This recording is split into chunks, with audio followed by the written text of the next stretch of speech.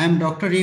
Krishna from Krishna Diabetes Care Clinic, Berhampur, Orissa. Today, I want to present a case uh, regarding a poorly controlled diabetes woman with genital tract infection. Generally, we see in our day-to-day practices.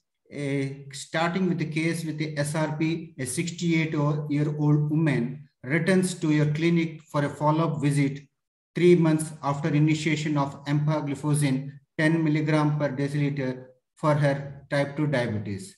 Her glucose levels have improved, but she complains of vaginal pruritus and is worried that she has yeast infection. You diagnose vulvovaginal candidiasis in this patient and prescribe a single dose of fluconazole 150 milligrams. After reviewing her laboratory tests, you notice that since the starting of empagliflozin, her HbA1c levels has improved slightly from 8.9 to 8.2, but is still not where it needs to be. Her EGFR is 69 milliliter per minute.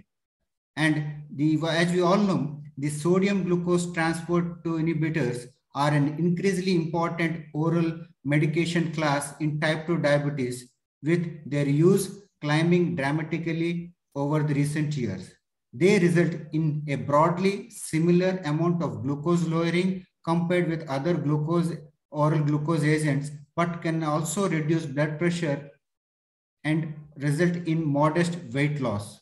In addition to their glucose lowering effects, large-scale clinical trials have demonstrated reduction in cardiovascular and renal outcomes in high-risk groups with type 2 diabetes, as well as benefit in patients with heart failure, whether or not they have type 2 diabetes. SGLT2 inhibitors reduce hyperglycemia in people with diabetes by increasing urinary excretion of glucose. This induced glycosuria increases the risk of genital infections and both clinical trials and observational studies demonstrate a 2.5 to 6 fold increase in genital infection in people using SGLT2 inhibitors compared with controls.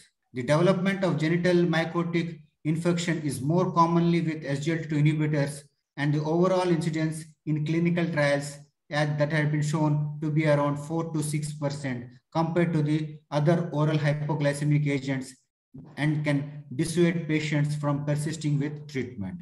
A number of factors have been shown to be associated with risk of genital infection in the general population, in particular female sex and diabetes, especially when glycemic control is poor.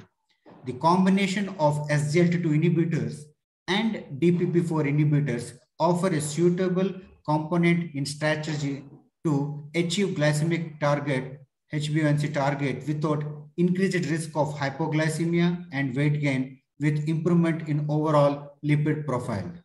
A reduction in the incidence of genital infections associated with SGLT2 inhibitors has been reported with a DPP4 inhibitor added, perhaps because of uh, a better glucose control, although other possible mechanisms remain to be investigated. In clinical practice, the risk of genital urinary tract infections may be a barrier preventing patients from receiving or continuing a potentially life-saving therapy. In addition to local hygiene, consultation on how to prevent this GUTI, identifying combination therapies that limit the risk of such adverse effects in an interesting strategy.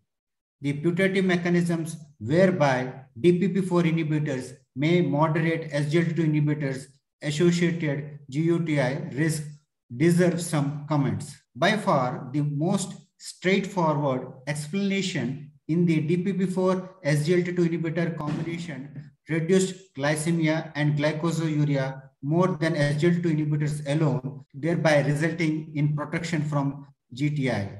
DPP4 activity is present with some yeasts, molds, and bacteria, and its inhibition may directly modify microorganism organismal function. This highly speculative and sophisticated hypothesis need to be tested experimentally.